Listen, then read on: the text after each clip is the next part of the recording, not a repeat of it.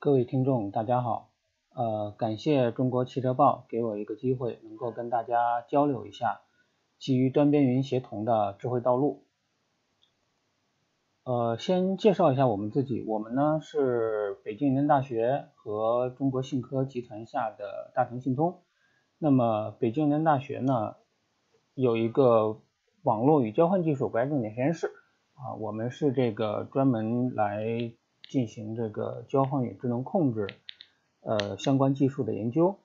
呃，该实验室呢在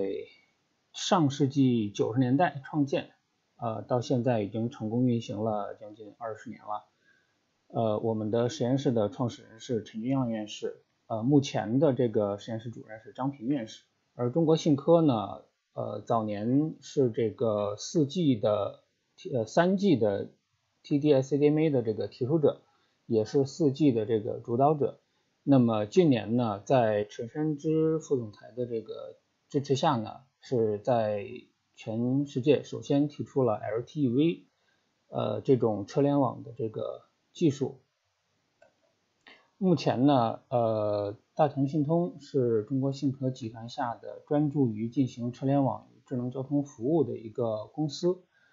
呃，我们北邮和中国信科合作呢，重点想围绕在这呃基于 LTV、基于未来的 CV2X 的车联网来展开相关的技术和这个实践研究。大致呢，我们会围绕三个方面来展开今天的这个内容。首先呢，聊一下智能交通系统的国家的战略和未来的一个发展趋势。其次呢是自动驾驶和智慧道路的一个特征与未来的发展方向，呃，围绕着这个来展开智慧道路未来将会一个什么样的建设方式。最后呢再探讨一下智慧道路目前的一个进展状况和存在的一些问题。好，首先看第一个，智能交通呢应该说在上个世纪九十年代开始啊真正火热了起来，因为这个。交通啊，成为一个日益严重的一个问题。呃，交通随着这个车辆的增加啊，人们生活的日益的这个增强，那么交通拥堵啊，交通事故等等，越来越成为一个显著的一个社会问题。比如说前前两年，那么中国呃，在整个的这个交通环境中的这个事故率呃，达到了每年上万次。呃，可能已经超过了正常的一些这个什么其他的呃疾病啦等等一些问题。呃，在上世纪九十年代呢，美国呃应该说是在智能交通发展的比较前沿的一个国家。呃，早年在传统的智能交通领域呢，美国提出的战略实际上是 DSRC。为什么会这样呢？因为呃，传统的美国是一个在车轮上的国家，呃，它的基础设施的投入会相对弱一点，但是它的车的保有量，呃，车的这个数量会非常的多，所以美国最早先提的智能交通的这个基本战略呢，更多的是面向于车的智能化，比如最早的这个无人驾驶，实际上也是美国人提出来的，车的智能化，车的网联化。到呃一八年左右的时候呢，美国提出了一个未来的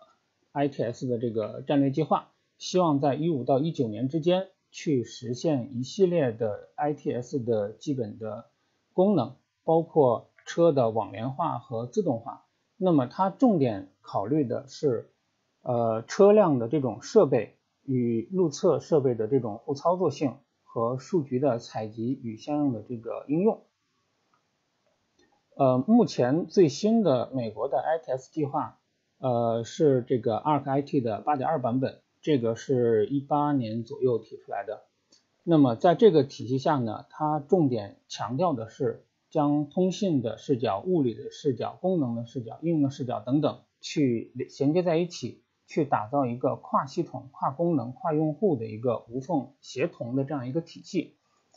呃，这种体系和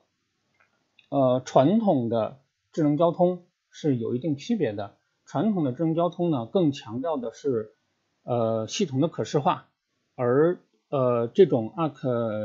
八点二的这种版本，这种体系，迎合的是美国未来的这个呃展望二零四五里面，它所提出的是这种泛在的协同的智能交通系统，它是提出了这样一个概念。呃，想要解决的根本问题就是希望通过协同和车载的这个智能来避免传统的交通事故和交通拥堵的问题。这是美国的一个基本的一个发展趋势。相应的，欧洲呢，呃，传统的欧洲和美国基本有一点点区别，就是美国呢更注重实用性，欧洲更注重这个协议体系的这个完备性和超前性。这个从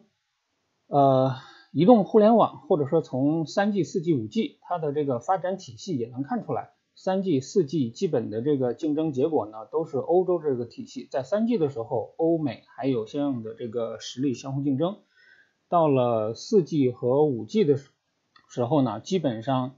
是欧洲主导完成了呃未来的这个互呃移动电信网的这个标准。那么传统美国的标准呢，实际上是受到了一定的这个压制，因为欧洲比较注重大规模的成体系的这个建设，在呃智能交通方面呢，实际上也是有类似的这个倾向。欧洲也是在上世纪九十年代的时候成立了这个智能交通的推进组织，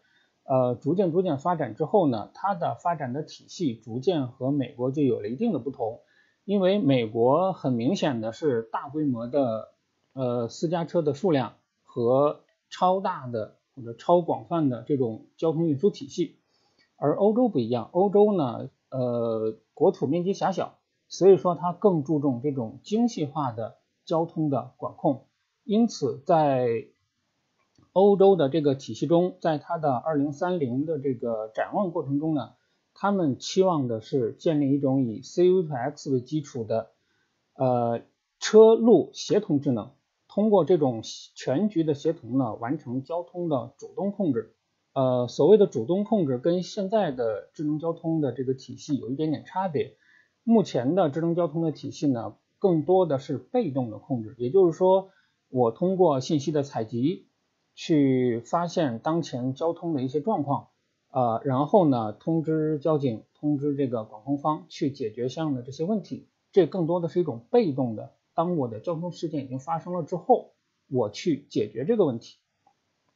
这这种解决方式在交通里面是有一定的局限性的，因为所有的交通的状况更多的是当前或者说是呃所有的交通参与者相互作用产生的一个结果。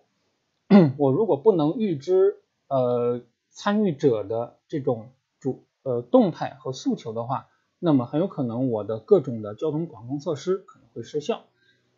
呃，在欧洲呢，期望从二零三零年到二零五零年之间啊，它规划了一个路线图。这个路线图呢，当然是以 C-V2X 为基础，呃，以这个车辆的智能化呃为方法，共同的。呃，最后形成一个车路协同的呃交通环境的主动控制系统，这是欧洲的一个发展的一个状况。那么回到我国呢，基本上我国从国家到地方，呃，从科技部到交通部，实际上都在推动呃智能交通和其他领域的一个深度融合，比如说在。一八年的时候，国家呃发布了这个加快推进新一代国家交通控制网和智慧公路试点的一个通知。那么到了一八年底的时候呢，就已经明确了五点九这个频段用于 V2X 的这种体系。呃，这意味着国家已经明确，呃，未来将以 CV2X 为基础来构建我们的呃车联网的这个体系。那么到了一九年的时候呢，国家又推出了一个车联网，呃，主要是针对智能网联汽车的一个产业发展行动计划。呃，到二零年初的时候，这个行动计划进一步扩展成了一个智能汽车的一个创新发展国家的一个战略。呃，这种战略呢，实际上是从呃车的角度进一步把车联网进行了一个呃内容的一个具体化。也就是说，除了 C-V2X，呃，国家也希望通过推动智能网联汽车的发展，去进一步推动整个交通环境的升级换代。尤其是到了今年年初的时候，国家进一步发布了这个五 G 新基建，特别是在五 G 新基建中呢，呃，四月份的时候，呃，高高技术发展司的司长武浩，呃，在答记者问的时候，重点提出了说五 G 新基建。那么新建内容是什么呢？其中很重要的一方面是建融合的基础设施。那么这种基础设施包括传统的互联网、大数据。人工智能，同时呢还包括传统基础设施的转型升级，其中点了两个比较重要的，一是智能交通的基础设施，另一个是智慧能源的基础设施。实际上，智慧能源和智能交通也是有一定的这个关系的，因为现在我们在推这个这个这个电车啊，那么这种电车在电网里面呢，更强调它的这种分布式电源的这种这种体系。所以说，智能交通和智慧能源结合在一起，呃，将形成未来的我们五 G 新基建的重要的这个建设方向。由此可见，我们国家对智能交通，呃，也是非常重视，或者说，呃，今年开始呢，呃，五基于五 G 的车路协同的智慧交通网络，将成为未来的一个重点的一个投资和这个研究的方向。OK，那么呃，这种刚才也提到说，自动驾驶和五 G 的这种智慧道路将更紧密的结合。那么，自动驾驶和五 G 智慧道路它的特征和它的方向，或者说自动驾驶对智慧道路到底有什么样的要求？智慧道路又将以什么样的方式来支支持这个自动驾驶，就成为一个很重要的一个内容。我们首先来简单的看一下自动驾驶。呃，我们需要承认，不管是国外的美国、欧洲，都把自动驾驶当成未来的智能交通的一个重要的发展方向。我国呃，这个这个智能网联汽车的这个发展战略也承认，这个无自动驾驶将成为交通中的一个重要的组成部分，所有的交通元素最终都将发展成为自动驾驶的这个方向。那么，自动驾驶在美国。呃，国家高速管理局呢，它之前的这个自动驾驶的分级和国际汽车工程学会的不太一样，目前大家已经规定到了一起，都分成了五级。呃，如果包括这个零的话，那么应该是六级。呃，这五级自动驾驶呢，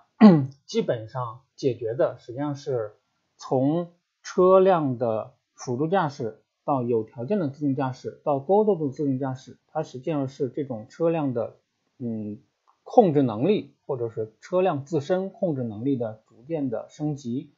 只不过是到了四级和五级之后呢，从四级到五级有一点点差别，因为原来的这个国家高速公路管理局的这个等级是四级，所以一六年、一七年的时候，我们当时一说无人驾驶啊，自动驾驶说的都是四级无人驾驶。那么从四级到五级，为什么多了一个根本原因？就是四级要解决的，本来想解决的是全环境中的这种无人驾驶，但是后来发现呢，这种全场景、全环境是有问题的。我可以很容易的解决特定场景下的无人驾驶、自动驾驶，但是我的这些自动驾驶的这些逻辑如何去适应无限的场景？这实际上是一个很难解决的一个问题，所以说呢，呃，最后又多了一个五级，五级期望的是在各种场景下，不管是道路条件是什么样，地理条件是什么样，环境条件是什么样，在各种条件下，我们都进行了深度研究之后，啊，它成为一个真正的完整的自动驾驶。那么，呃，为什么？从四级又分成了一个新的一个五级，根本原因就是单车的这种无人驾驶，目前业界的一个共识是单车的无人驾驶遇到了一些瓶颈。基本的瓶颈就是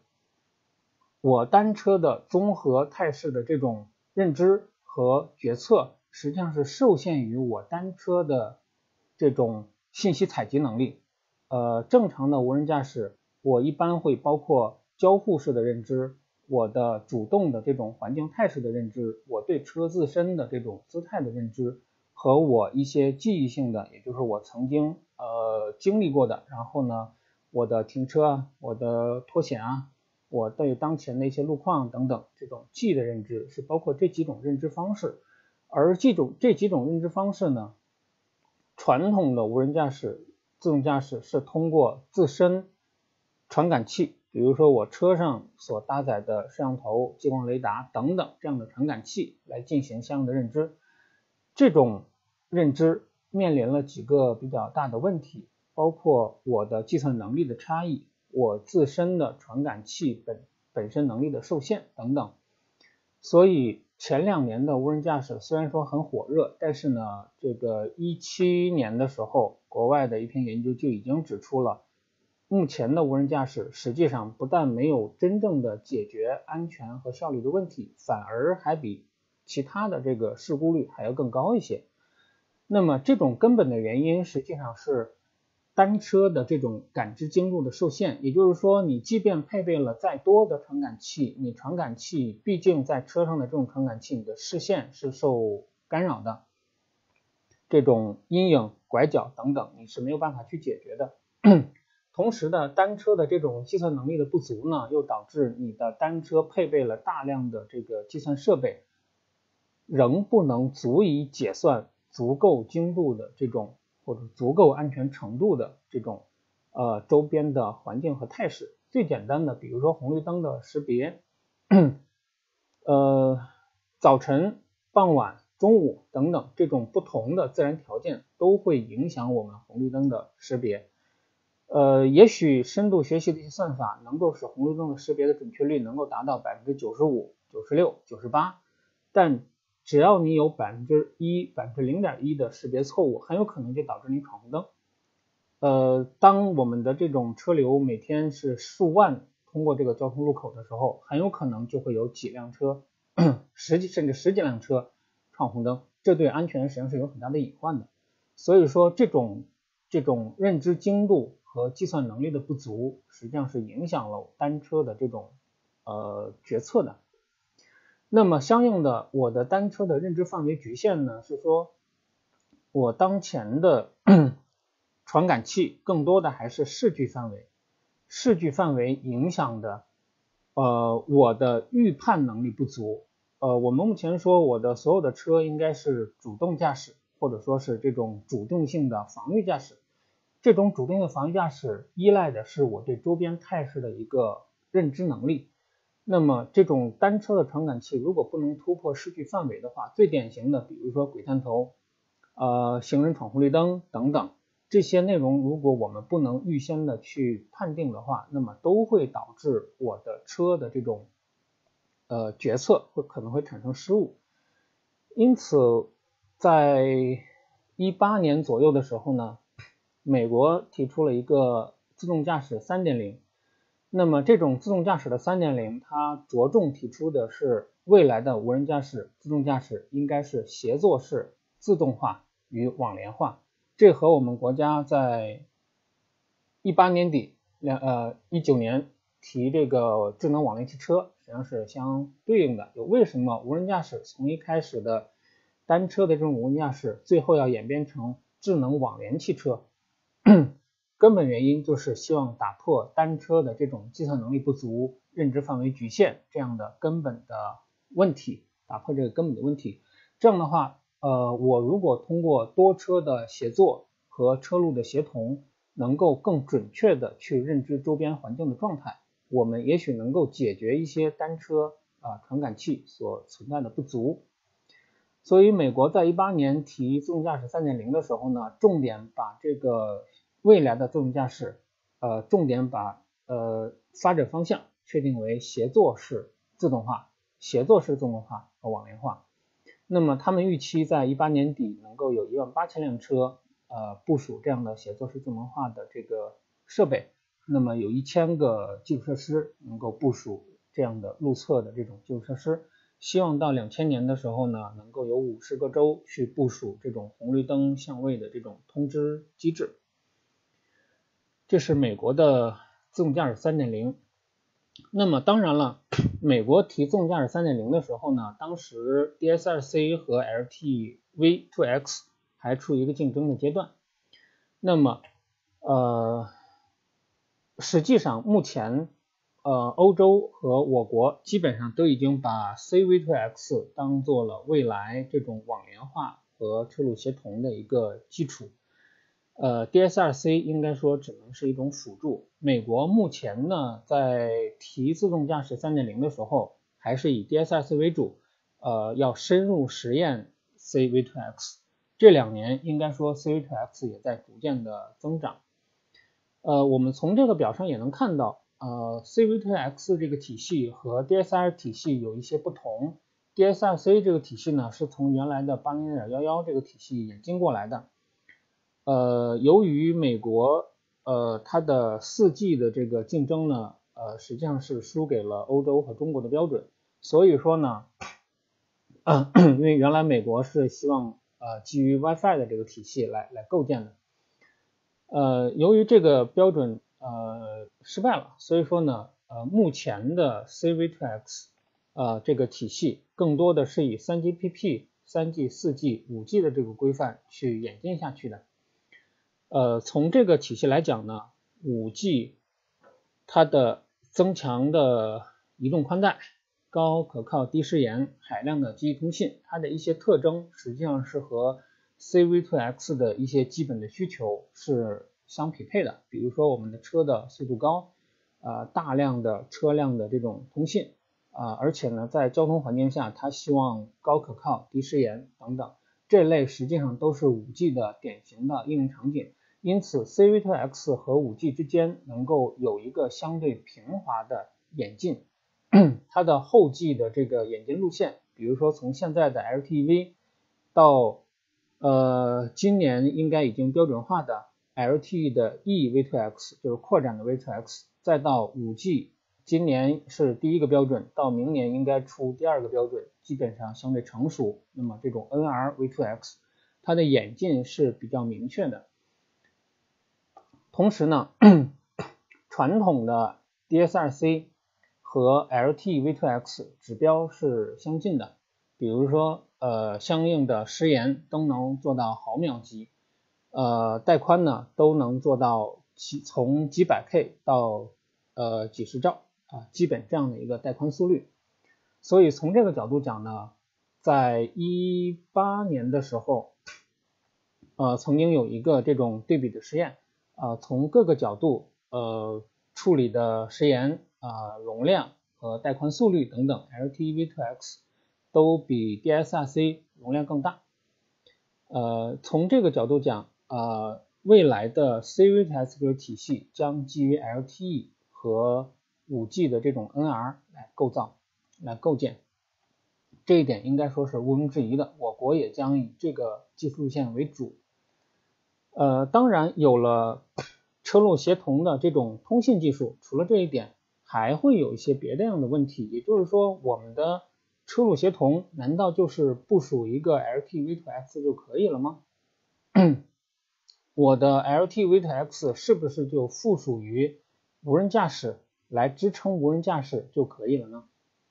呃，我们目前呃从美国的那个自动驾驶3.0。他当时提了两个问题，一个是协同的自动化，一个是网联化。那么这两点我们实际上可以深入探讨一下。也就是说，协同自动化它的侧重点到底是协同还是自动化？呃，网联化它的重点到底是车去联网，还是车连接网之后所形成的那个车网？这两点我们可能需要深入探讨一下。也就是说，如果只是强调的自动化，或者是强调的是自动化需要引用引入协同，那么这个重点是放在车上的，也就是强调的是车本身要协同化，车本身要网联化。那么从更宏观的这个交通的角度来探讨的话，交通不只有车。啊，这个路面上还有行人，有自行车，有其他的轻这种比如摩托车这样的机动车和其他的非机动车等等。那么交通也不只是车的交通，呃，未来的呃大范围的这种交通还包括呃地铁啊、呃飞机啊等等其他的交通工具。因此，我们说从整个交通的这个体系来考虑的话，呃，未来的交通体系更倾向于协同化，也就是说，未来的交通体系是需要我们的路面、我们的整个交通的管理体系去支撑协同化的车辆和协同化的多交通元素。那么，这种协同化的多交通元素的协同结果的目的是为了我们的交通的环境更加的优化，去主动刚才说的欧洲的那种期望是主动化的、主动性的去优化交通状况，而不是被动化的应对交通的变化。那么相应的 车联网来支撑的是什么？车联网来支撑的并不是车要联网，车联网并不能解决。交通的问题，车目前的车也是可以联网的，对吧？目前的车我拿个手机放在车上也是能够联网的，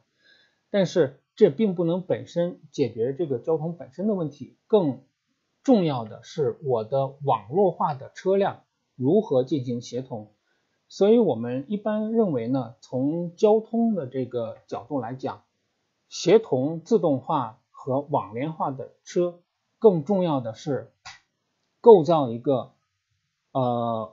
车路协同的网络能够使多交通元素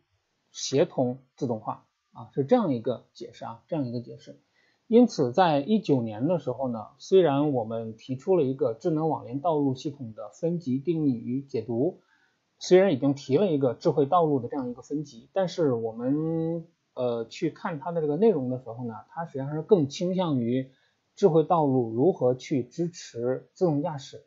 如何去支持自动驾驶，而不是本身的智慧道路或者说智能交通本身的这个内容应该是什么？因此，我们认为智慧道路的构建还应该回归到交通的这个本质。交通的本质实际上是人车路环境的一个智能协同，人的出行、车的流动和路的管理。及最终整体出行环境的这个协调，应该是这个样子。那么在这个体系里边呢，我的智慧道路本身要解决的，实际上是我交通的一些根本性的问题。这个根本性的问题就是人车之间如何去协同的问题。比如说人车之间，我如何通过这种车载的信息服务，去面向驾驶员提供辅助驾驶类的服务内容。那么车和路之间，呃，我如何通过路侧的这种智能的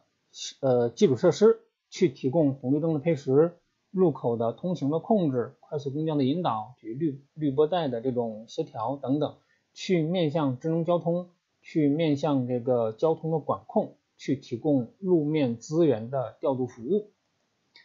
相应的，这是对路侧啊。如果是对车侧的话，相应的是我如果要针对无人驾驶、自动驾驶，我如何去提供路面的这种高精度地图和路面的高精度的路面态势，通过这种超视距的高精度的路面态势去辅助自动驾驶车辆进行超视距的认知啊，辅助它的决策。从人和路的这个角度来讲，人是本质上还是要出行。所以说呢，我是如何去占用路面资源？呃，我如何提供出行的这种呃 mobile as service 这样的出行机服务啊？未来的这种共享的这种出行服务等等，我去完成个人的出行的规划。从整体交通环境角度来讲呢，我如何通过人车路的整体的这个信息的采集，去挖掘整体的交通态势？去建立，比如说城市大脑，去提供政府的认知和政府的这种规划类的服务。所以，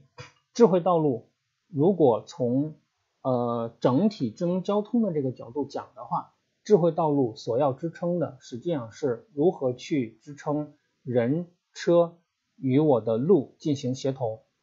我路所采集的这些信息如何去支撑环境的这种认知。整体环境的认知，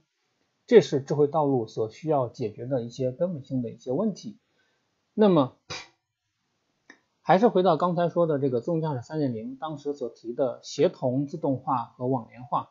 那么，如果我们从车的角度去谈，是车本身要协同化，车本身要网联化。那么，如果我们从路的角度去谈的话，是我们在路面上的大规模的交通元素，人车要网联化，要协同化。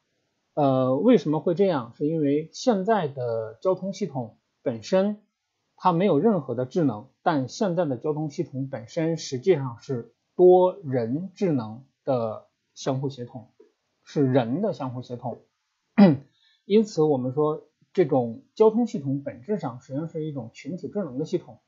呃，所谓的群体智能有很多种英文啊，有的叫 swarm intelligence，我在这儿叫 cooperative intelligence，更强调它的这种协同的这种行为。呃，因为交通系统本身是一个典型的一个群体智能系统，它是希望通过协调多个智能的个体去保证人安全的抵达目的地，或者是我的物，我运送的货物。能够安全的抵达目的地，同时呢，我去通过协调多个交通的这种个体呢，去保证我的交通的稳定和均衡。稳定和均衡最终解决的是交通效率的问题。从微观上呢，就是协调我单个车，我应该如何保证车的安全性。从中观上，我解决的是路口或多个路口，我如何去高效的协调。去实现呃交通的效率。从宏观上呢，是我的整个的路网，我如何保持一个稳定的交通态势，这是交通的本质。那么针对这个交通的本质呢，我们实际上提出的是，嗯，我如何去协调呃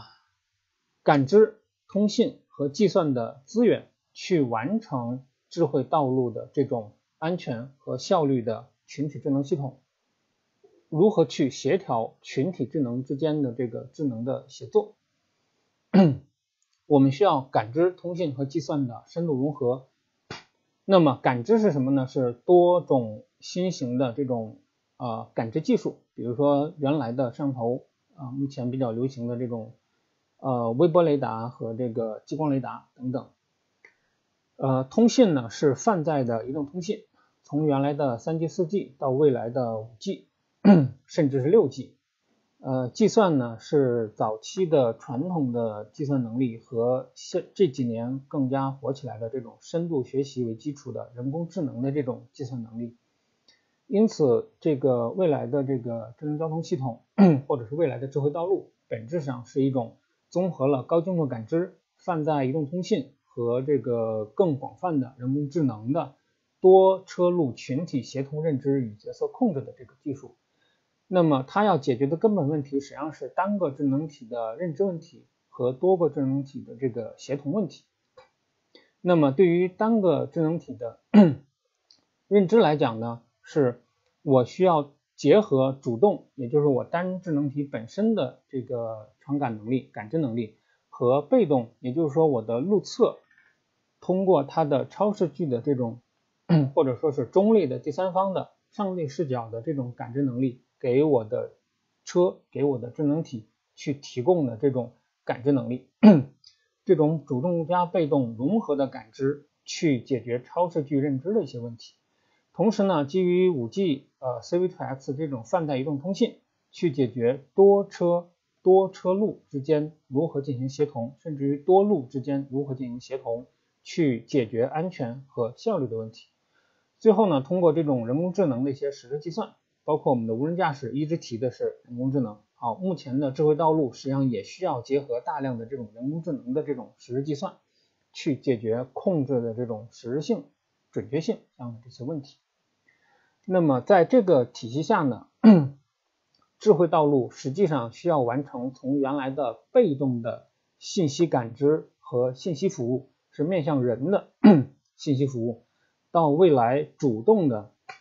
信息感知和面向物的，比如说面向车、面向路侧的基础设施、面向物的这种主动的交通管控服务来转变。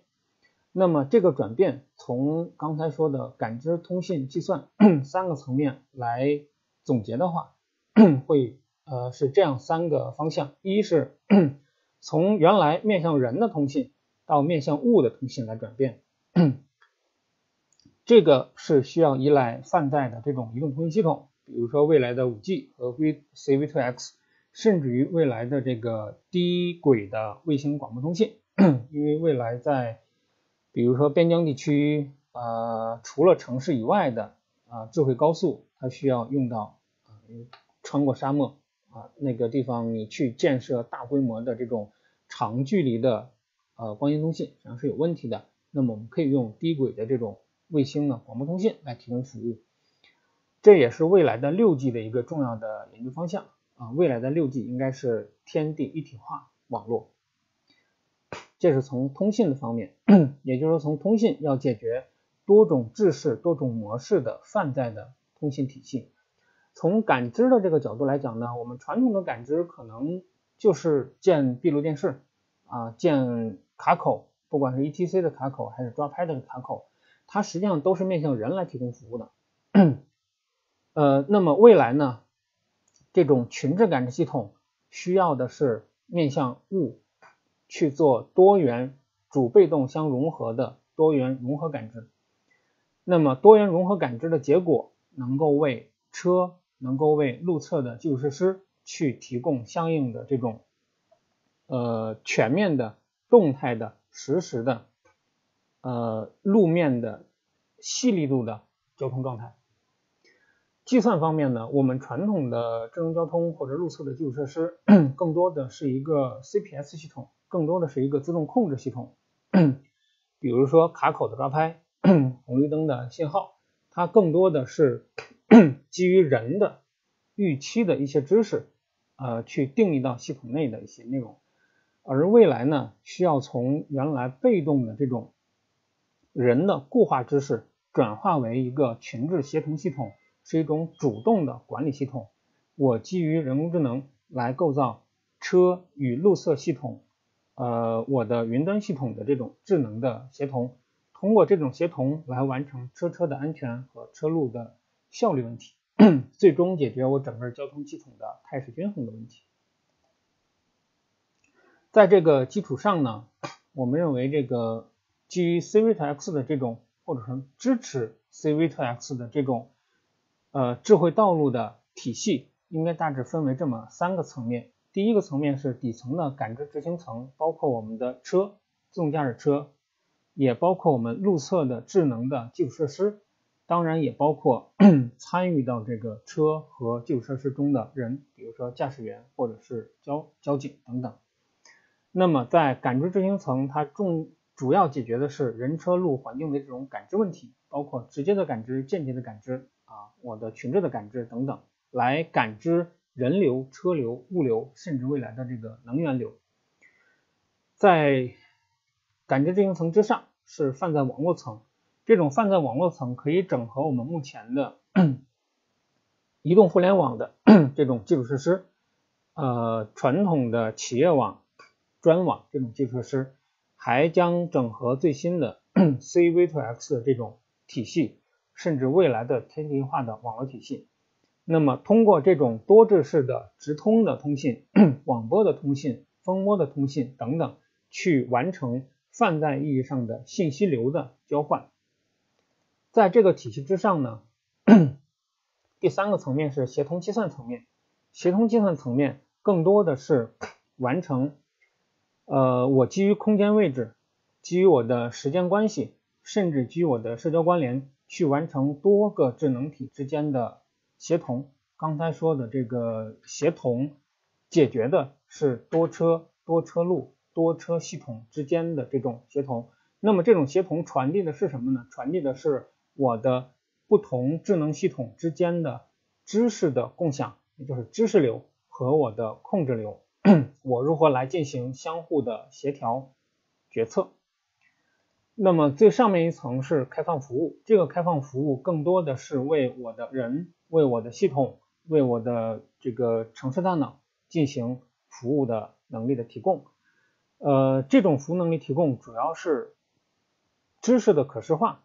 和这个我的相应的认知结果这种认知结果可以用来呈现整体交通态势的这种演变，供人来理解，或者是供这个城市大脑进行认知和相应的这个决策。所以在开放服务多系统之间所传递的是相应的认知流，系统和人之间传递的是认知流，而不是简单的感知信息，是经过这个人工智能系统认知之后的这种结果。和相应的这个决策流。那么在这个体系下，未来的智慧道路的分级呢，呃，我们认为呃大致分成这么两个阶段。第一个阶段是当前的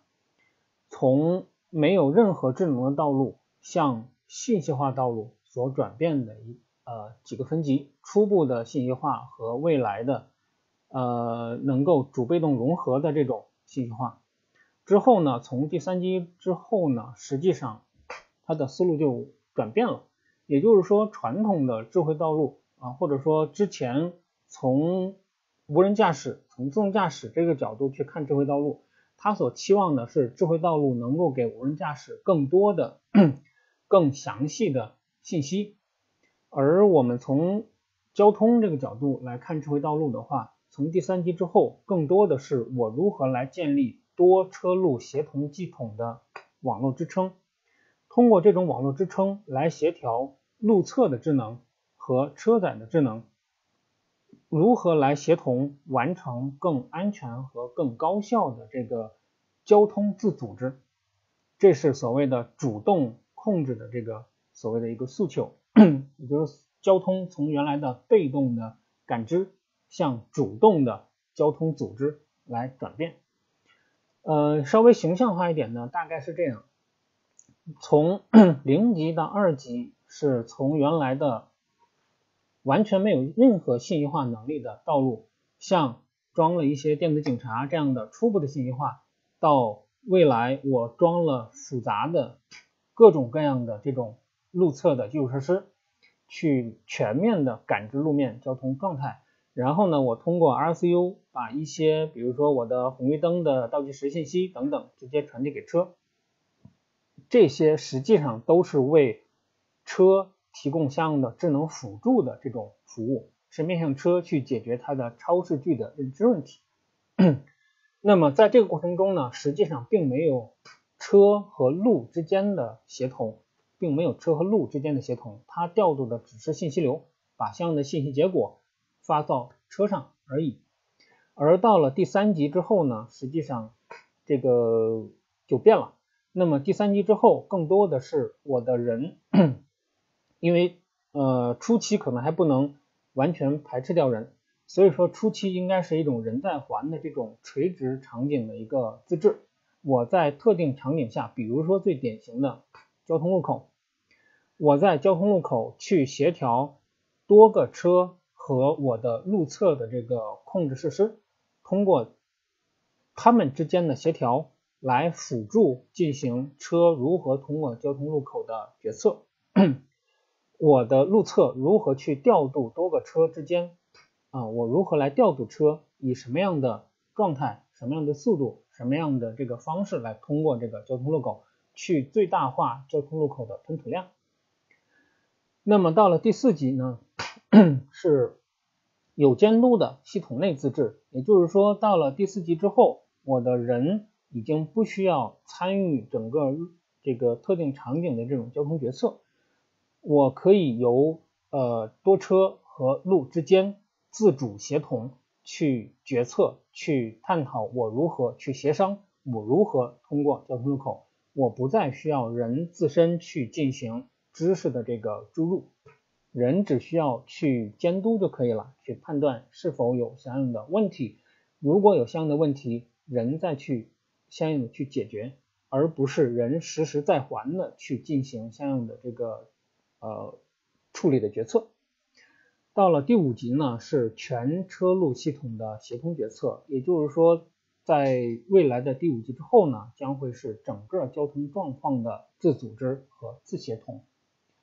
这是智慧道路的一个发展状况。当前的智慧道路呢，应该说仅仅解决了 我的路面信息状态的认知问题和我的当前的这个认知结果向所有的这个车辆的分发问题。所以目前应该仍处于第二级和第三级之间的这样一个状态。我们期望我们的这个智慧道路是努力往第三级方向去演进。目前的智慧道路的这个群智感知系统，目前主要完成的实际上是三方面。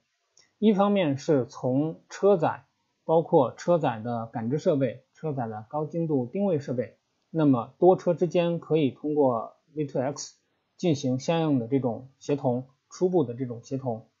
同时呢，车载的感知与路侧的感知进行主被动感知的融合，呃，路侧的信息可以发到车上，供车进行超视距的认知，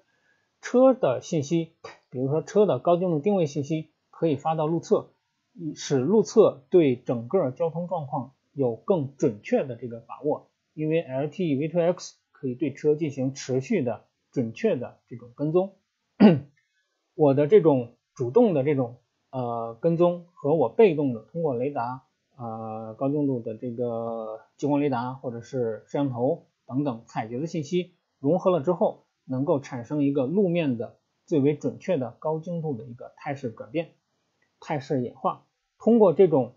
路面的高精度的态势转化呃演化。我们可以分析出未来的交通的发展的趋势，通过这种发展趋势，反过来再去对整个交通状况进行相应的判定，呃，以支持我们未来的主动的这种交通决策。呃，这种体系呢，我们把它称为基于群智感知的一个主被动多元的融合感知系统。融合感知系统，那么它们可以分别部署在车端、边缘侧。和云端，车端主要完成微观的车周边状态的感知和认知，路侧呢主要完成 介观的整个路面交通状况的态势的认知，而云端呢完成的是更宏观的整体交通状态和交通演变的一个规律的认知。这是主被动多元的感知融合，相应的。呃，感知融合的目的是进行协同控制，这种端边云协同的协同控制，主要的体系是包括我车载的这种群内计算单元，我通我实际上是通过我自身的啊认知和我通过路侧给我这种超视距的认知相结合，去完成微观的个体驾驶的决策，去控制我车的运动。路侧的边缘计算单元通过车和路之间的协同及多个路侧设施之间的协同，去完成单路口路面交通状况的控制和多路口交通状态的协同。比如说最简单的呃滤波带、滤波引导，那么路测可以通过我对多车的这种实时的持续性的呃。监控去呃协同我的车如何进行通过红绿灯的这种呃引导智能引导呃去解决我多个方向的这个车之间可能潜在的这种冲突啊交通的拥堵等等这类的问题。那么在云端的群智计算服务呢，是通过呃多个边缘群计算单元所获取的这些信息。及我对整体交通态势的演变的一个判断，去反馈给路侧的群智计算单元，去如何进行局部交通状态的调控。这样的话，终端、边缘和云端就形成了三级的一个自反馈的一个体系，去通过我微观的个体驾驶决策，影响 我呃单车的安全驾驶。通过我介观的局部的这种交通引导，去协调多车如何高效的进行呃局部的交通的呃效率，去解决局部交通效率的问题。通过我全局的宏观的这种城市交通状态的演化判断与分析，去反馈给局部的这个交通控制系统，去协调我多个区域之间如何引导呃交通流，呃通过这三层面的协同去最终完成呃我的多交通元素之间的交通流的引导和协调问题，这是智慧道路的一个群治协同的一个体系。OK，最后呢是谈一下我们目前的智慧道路的演进的状况与存在的一些问题。呃，目前的智慧道路呢，实际上从国家的角度来讲，从最开始的先导区，再到一些示范区，再到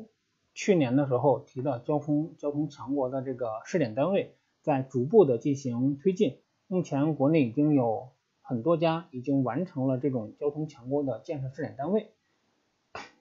但是目前的这个交通强国的试点建设呢，目前主要集中在大家提的更多的主要是智慧道路和智慧高速。呃，因为呃智慧高速，呃刚才也提说无人驾驶在短期内还会遇到一些问题，所以说呢，很多人啊专家业内的专家吧，大家一个共同的思路是。目前的无人驾驶还不能在城市道路这种复杂路况条件下进行大规模的推广，它需要一个更简单、更纯粹的一个环境。所以目前的这个高速就成了这样一个环境，因为高速上它的这种交通场景比较简单、比较单一，而且呢，高速上可以去做良好的这个路线的规划和基础设施的建设。同时，当然路啊那个高速上还有更好的一个这个盈利模式，可能更清晰一些。所以说目前都选择了高速作为智慧道路的一个重点的一个发展方向。呃，比如说杭绍甬啊，他希望在二零二二年通车的这个智慧高速，就将啊希望能够支持自动驾驶去构建呃多车队的协同，构建。全路段的这个自动自自由流收费等等，呃，在普通的城市道路中呢，实际上也做了很多的这个实践，呃，因为普通的城市道路比高速它的路况更加复杂，所以说它的这个实验的场景也会更加的复杂。比如说我们在呃许昌呃做了这种自动驾驶的实验。在南京呢，做的是一种智慧公交和远程驾驶的系统，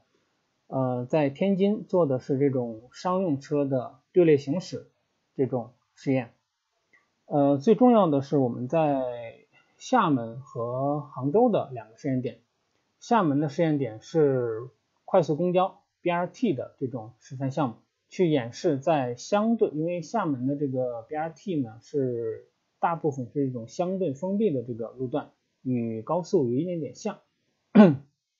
当然它也会经过多个交通路口。杭州这个呢是普通的开放路段，开放路段，那么它的场景会更加复杂。呃，在这种体系下，重点去试验，呃，路测如何为车去提供超视距认知，如何通过路测的认知和车的主动认知相融合，来实现主被动融合的。超视认知解决安全驾驶的问题，同时呢，呃，我们在路测通过提供路测的这种边缘智能，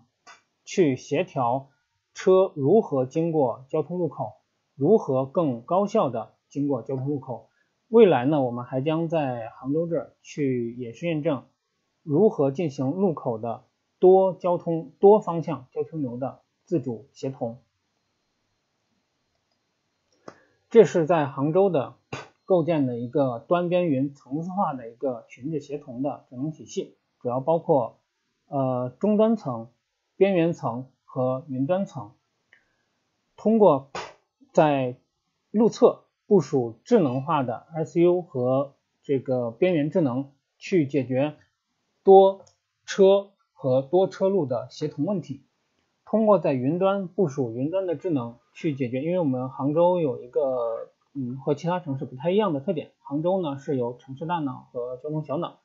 那么我们希望在云端层呢去部署这种群智协同的云端智能去协调边缘智能，然后为城市大脑和交通小脑去提供相应的智能化的治理能力，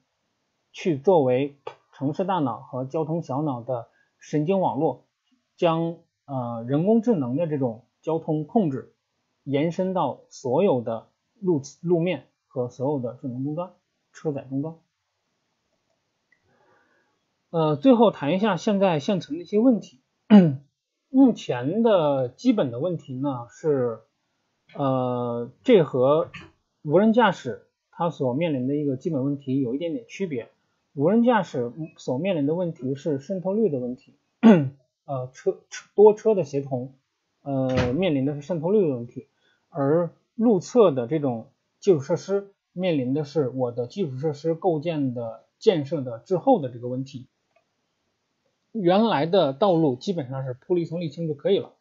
但是未来的智慧道路需要解决通信能力和计算能力的部署的问题，因此新型基础设施的建设的滞后将极大的影响未来智慧道路的这个演示验证这样的一个呃验呃能力。那么这是其一，其二呢是传统的智慧道路。或者是传统的智能交通基础设基础设施，呃，更多的是建设，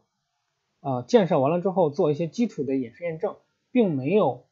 解决如何去运营、如何去把这些基础设施用起来的问题，这也是目前最严重的一个问题。也就是说，呃，相应的这些基础设施建设了之后，我如何去、谁去运营、如何去运营、它的运营模式是什么？它的商业价值在哪里？这些问题目前还有待商榷。第三个问题呢是规模用户还没有出现。智能网联汽车呢，更多的是车的渗透率。目前的国家的五 G 新基建可以保证 各个地方去建设一些这种示范区，但是建设了示范区之后，会面临我的基路侧的基础设施建设。和我车载智能设施不匹配的问题，在我们建设了呃全面的路侧基础设施之后，我所使用这些基础设施的车太少，这些车辆的少就导致我的基础设施并不能发挥它最大的功效，并不能解决我的真正的解决交通的引导问题，因为能够服从我引导的车太少了。第四呢是这种跨界的协同的不足，呃，也就是说我的传统的交通的建设由我们的交交通局来主导建设，交通的管理呢由交管局来主导管理，投资呢地方政府来投资，呃，它所使用的传统的这个计算设备、通信设备，呃，不能叫七国八制吧。反正是各种各样的设备，各种各样的型号，各种各样的能力都有。甚至于呢，我们传统的交通基础设施对通信能力的使用，实际上是落后于很远的。我们现在的通信能力，比如说四 G、五 G 发展的已经非常的成熟，而我们传统的交通的基础设施，它的通信能力利用的都很弱。很甚至于二 G、三 G 时代的那种通信基础设施，那么这种跨界的不足，导致了传统行业和信息通信行业、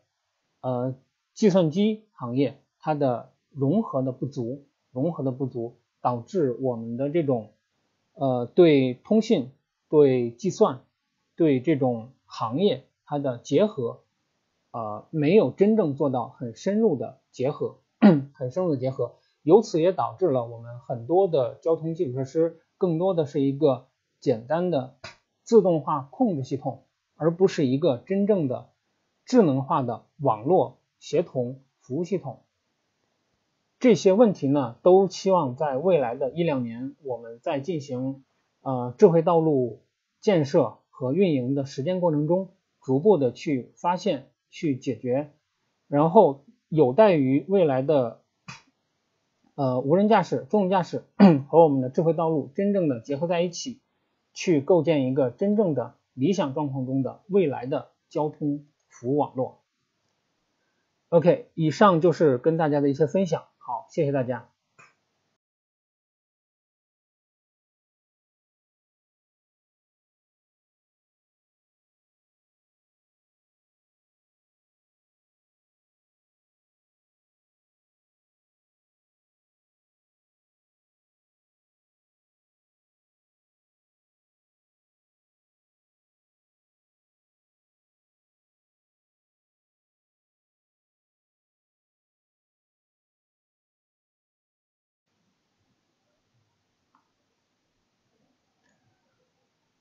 OK，呃，看看推过来的问题啊，呃，第一个问题，在建设智慧交通的过程中，很自然会涉及到产业分工问题。具体到技术层面，请问如何确定某项技术究竟是该配在云端还是配在车端？呃，车企和交通部门之间的技术布局该如何协调？OK。呃，这个问题先先谈一谈，到底应该配在云端还是配置在车端？呃，先明确一下车端和云端到底它的需求是什么？呃，我们一般认为呢，在车端，首先的目的是为了保证这个驾驶的安全性，这就意味着，呃，车载的这个智能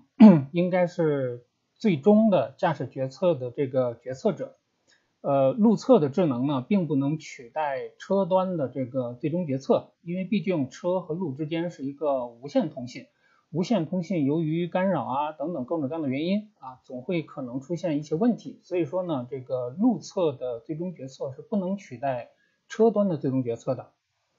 那么相应的路测和云端呢，包括路测的一些智能啊，这个云端的云控平台呀，应该说主要的目的非是为了辅助。车辆的安全驾驶，呃，或者说最重要的目的应该是提供提高这个交通效率。呃，具体到这个具体的技术上呢，我倾向于认为车载至少应该配备最低限度的保证驾驶安全的相关的技术，比如说多传感器的这种融合感知啊，啊，融合认知，呃，V to V 的这种协同啊，安全驾驶的这个智能决策等等，呃，这是重点。解决这个偏向于安全驾驶相应的问题，这是应该配置在车端的。那么相应的路测和云端呢，去配置一些更复杂的，比如说更复杂的这种多传感器的融合认知，呃，这种群体智能的决策等等，偏向于这种超视距认知啊，呃，交通效率的这种协同决策啊等等相应的这些技术，我认为可以配置在路测和云端，因为它可能对计算量需求更大。呃，这个存储啊，呃，计算啊，通讯需求比较大，所以放在这个路侧会更合适一点。那么最终呢，可以通过这种多车或者是多车路的这种协同，呃，由车端的智能和云端的智能共同来解决这个车的安全和那个驾驶交通的这个效率问题。呃，至于车企和交通部门之间，呃，技术应该如何布局呢？呃，我们可以这么认为，呃，对于一个完整的交通指挥控制或者交通调度来讲，我们可以认为它包含几个环节：感知、认知、通信、决策、控制。至少在感知、认知、通信这几个环节上呢，车端和路测或者说车企和交通部门之间呢，应该说呃并没有本质的差异，很多技术是可以共享的。那么在决策和控制这两个环节上面可能会有一定的差异，呃，所以呃这个车企呢可以更倾向于呃感知认知通信及面向安全驾驶的这个智能决策和相应的车的这个驾驶控制，而交通部门呢或者说这个智能交通的这个建设单位呢可以更倾向于完成路测的，比如说多传感器的感知融合。呃，今年啊也会重点放在这个五 G、C-V2X 等等。当然了，一些这个传统的车企可能会稍微保守一点，一些造车的新势力呢可能会这个激进一点。嗯，我们传统的这个交通管理部门可能就会更保守一点。呃，当然相信呢，这个车企还是需要这种智慧道路的辅助。呃，道路交通呢也需要呃智能车辆的这个参与，最终呢这个两者能够呃共同的找到一个在车路协同方面找到一个技术上的交集，呃这是大概第一个问题。呃下一个问题看啊，北京市曾在谈到开放实际测试道路时，提出有些公路并不属于北京市管辖范围，因此难以放开。如今各省市之间都在开展智慧交通的建设，请问邻近的省市之间如何解决跨地区的建设问题？啊，未来是否会形成区域发展？啊，比如京津冀、长三角和珠三角等这样的格局？嗯，这也是个这也是个好问题啊，这个。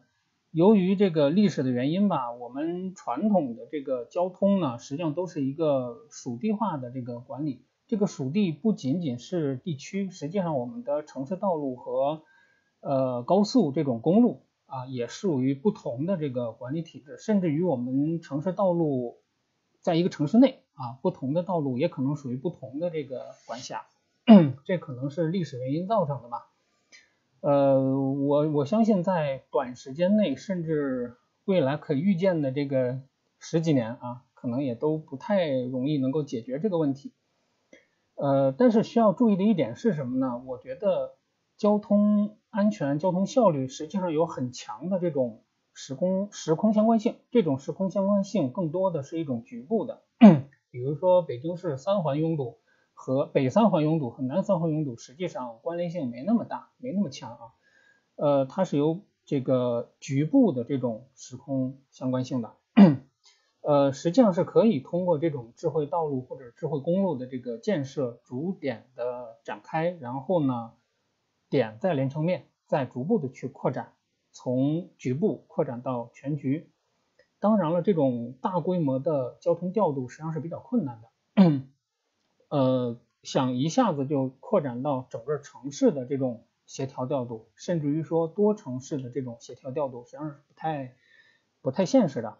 呃，目前呢，学术界也在研究，但是目前还没有很成熟的这个技术能够做到这一点。所以说我目前，呃，而且城市是很明显的，城市内和城市间是相对来讲是相对呃有有区隔的，有区别的。所以我认为呢，目前可能并不一定非得需要大规模的这种城市的协作，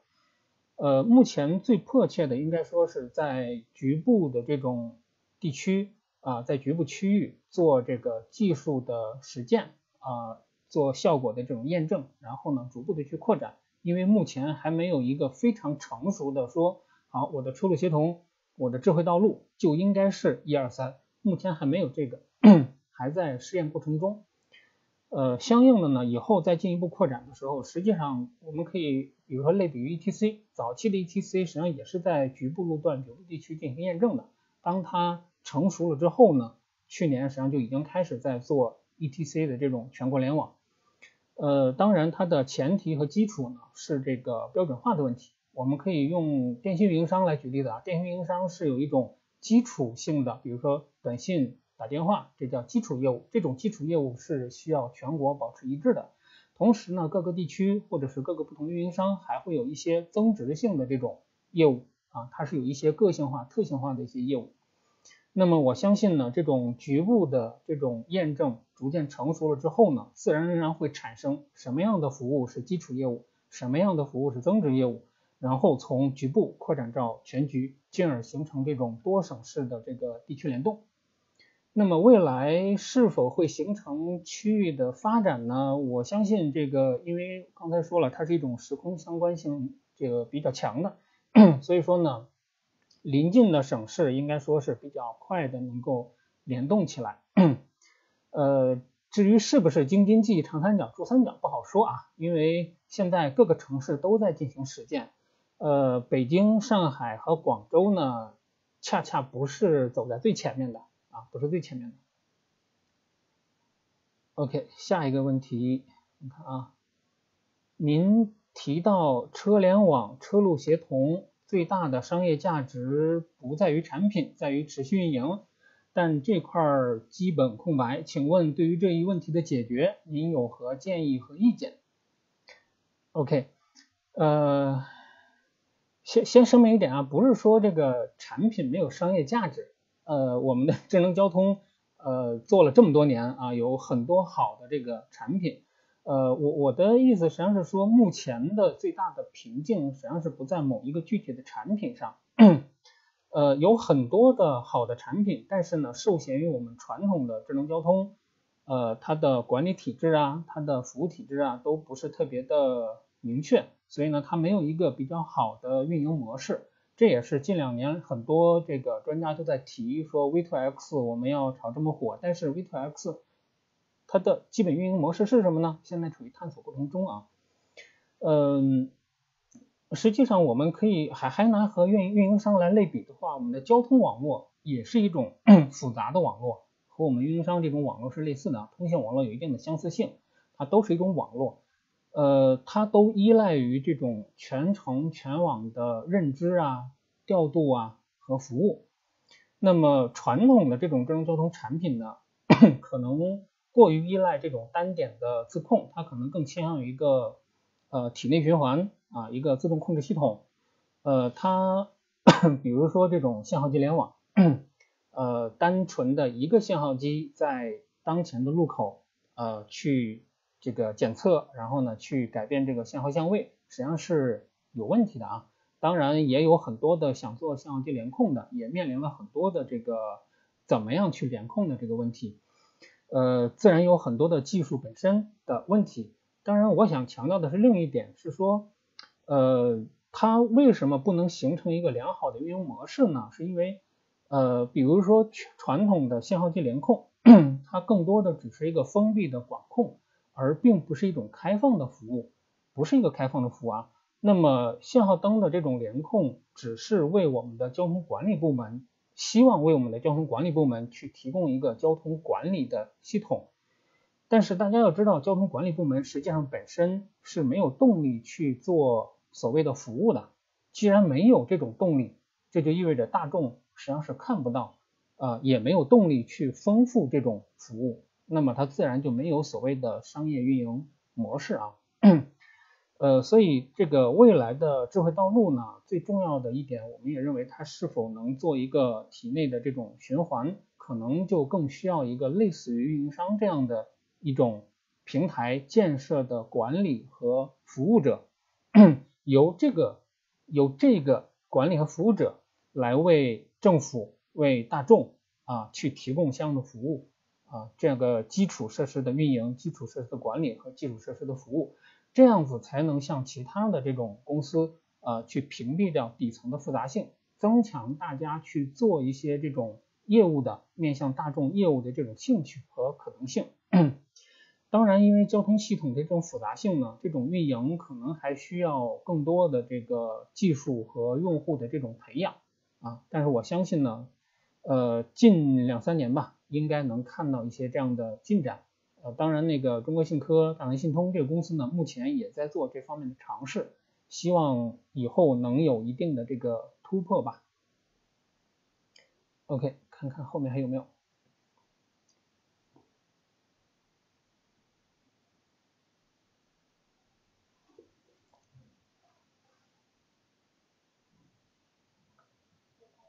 好像，嗯，好像没有新的问题推过来了。OK，好，谢谢大家。